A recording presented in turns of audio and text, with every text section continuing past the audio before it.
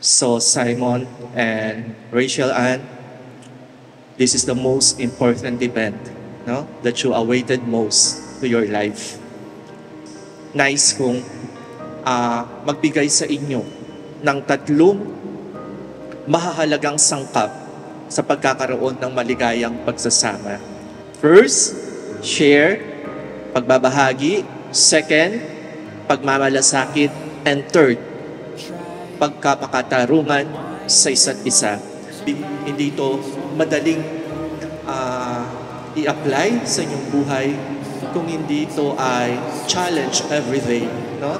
So, inaasahan ko na isa sa buhay ninyo itong tatlong no? Itatlong mga salitang minungkahi ko sa inyo. Pagbabahagi, pagmamalasakit, at pagkapakatarungan.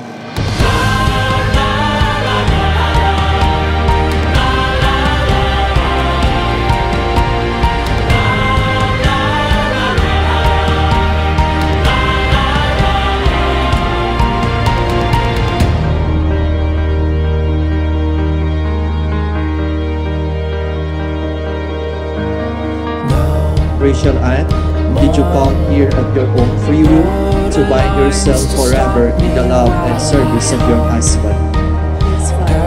Simon, did you come here of your own free will to bind yourself forever in the love and service of your wife? Yes, Father.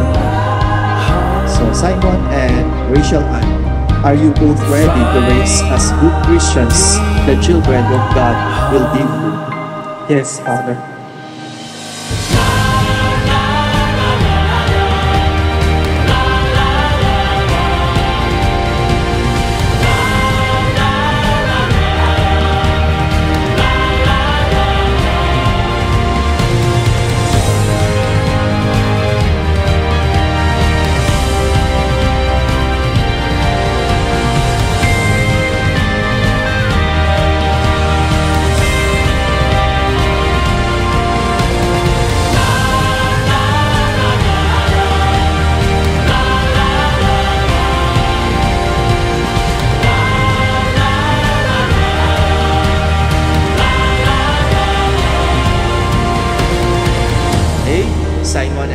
Rachel Ann, hangad ko ang inyong pagsasama ay mapuspus ng ligaya, kasaganaan, no?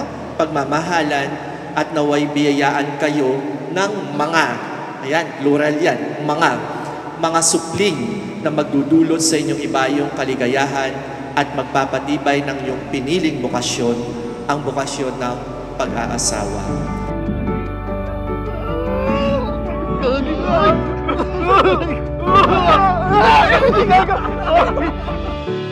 Feels like summer, driving with the windows down.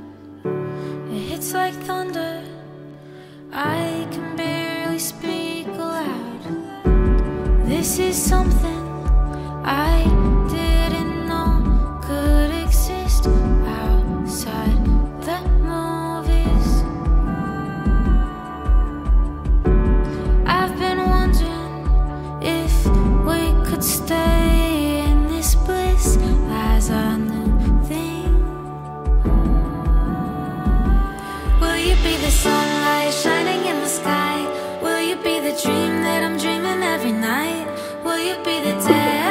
Rachel, kita-kits tayo later. Hindi lang later, panghabang buhay.